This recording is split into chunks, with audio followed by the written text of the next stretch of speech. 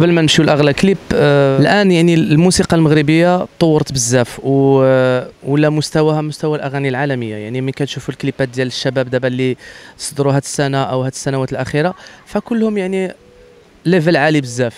high quality وكتحس باللي أن كاين budget وكتحس أن كاين يعني كاين كاين ناس واقفين وخدامين رغم أن ظروف في غياب ظروف الانتاج يعني ما كانش شركات ف voilà غياب شركات إنتاج.